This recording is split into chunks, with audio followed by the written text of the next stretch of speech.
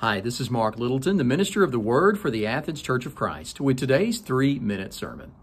In Isaiah chapter 41 and verse 10, God makes this promise. He says, Fear not, for I am with you. Be not dismayed, for I am your God. I will strengthen you. I will help you.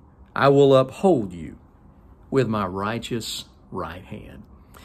There are so many things in this life, if we're honest, that make us afraid, aren't there?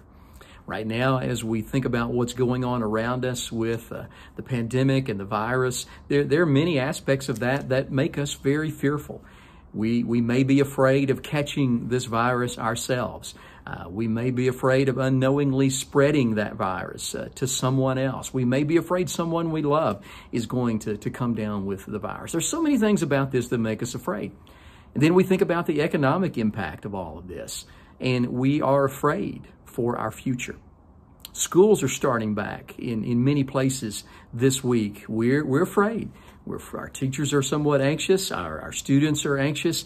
It's just so very easy right now for us to be afraid. And yet I want you to remember what God's promise to his people is. One of the most frequent uh, commands that God gives in Scripture is, do not be afraid. And he says that here in this passage. Fear not, do not be afraid. And then he gives the reason. For I am with you. It is the Lord's presence that is the cure for paralyzing fear in our lives. Well, what does the Lord's presence do for us? Look at the, the promises he makes. Because he's with you, God says, you, you, you, I will strengthen you. I will help you. I will uphold you. And that's what we need, right? We need strength and we need help and we need someone to hold us up. God says, that's my promise to you. You don't have to be afraid if you belong to me and if you follow me because I will be with you. And I love what God says at the end of verse 10. When he says, I will uphold you, he goes on to say, with my righteous right hand.